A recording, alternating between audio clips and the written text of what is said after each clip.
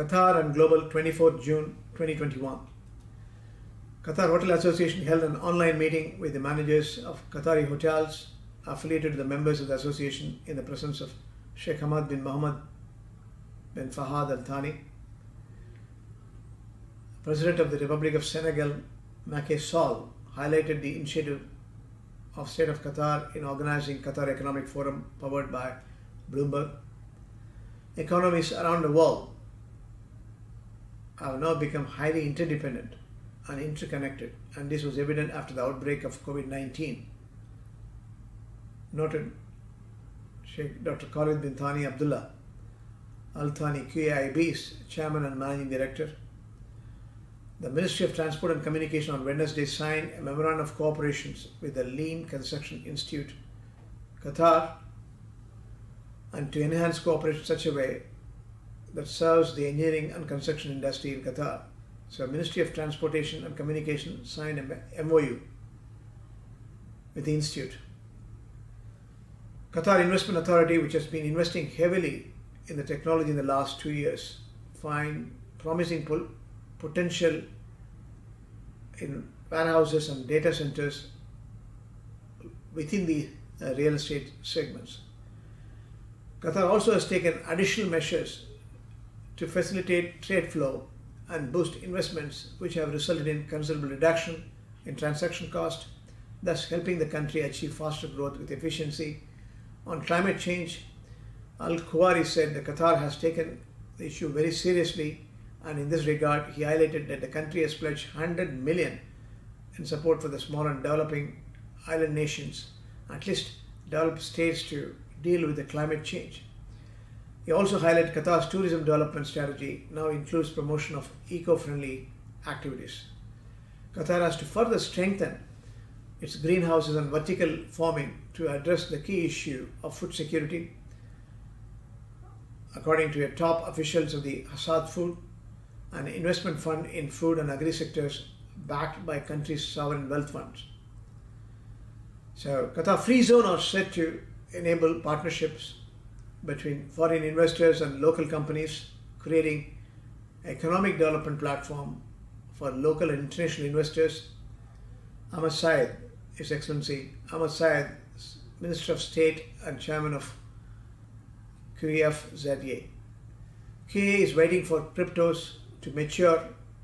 That's what the Qatar Investment Authority CEO said. Cryptocurrencies need a bit of maturity before we make our view about investing in that space. Still, it's not mature. That's what is assessment fully. Qatar Investment Authority officer Mansour bin Ibrahim Al Mahmoud.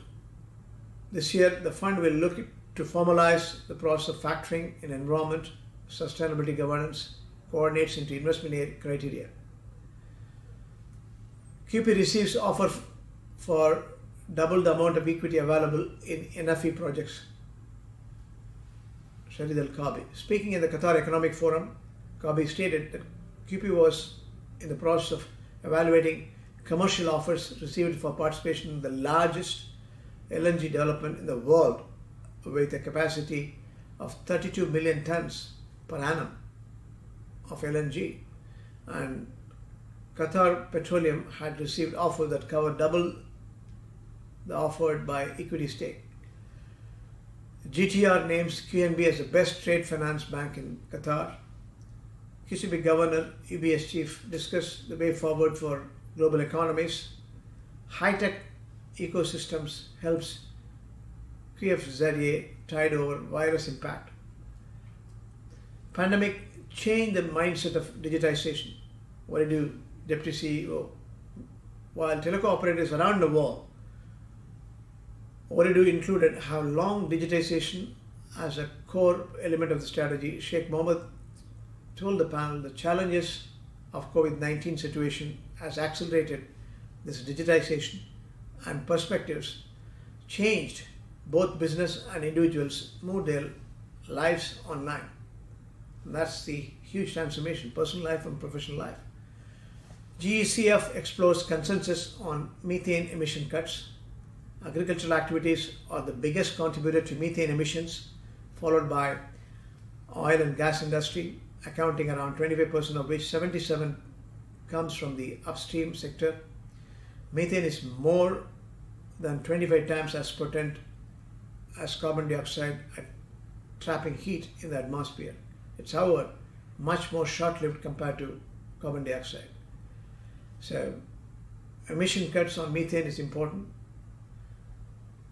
25% of which 77% comes from upstream sector. So we have to cut the emissions. Georgian PM stresses need to unite efforts to tackle COVID-19. Qatar Exchange so forum, Qatar Economic Forum, rather, a genuine initiative to spur constructive dialogue. Qatar keen on promoting STEM education, that is addressing equipping the success using STEM education to drive future economic growth. Qatar Economic Forum is a congregation of technocrats, politicians, bankers, regulators, ministers. So the ministry has equipped number of labs including digital fabrication laboratories, robotics, automation labs as well as virtual reality and augmented reality labs. So it's very important. STEM education is vital. So now most of the meetings are online. Qatar Hotel Association again held its meeting online. Lifestyle behavior adjustments needed post-pandemic normalcy. Vodafone launches Nokia X20 5G in Qatar. Vodafone on Wednesday announced exclusive launch on Qatar's Nokia X20 5G smartphone, which customers can enjoy a Vodafone powerful Giga 5G network. Nokia X20 5G is available now in selected Vodafone stores and e-shops priced at Qatar Riyal 1199. Banking system in Qatar proved ability to mitigate risk. QCB governor at Qatar Economic Forum.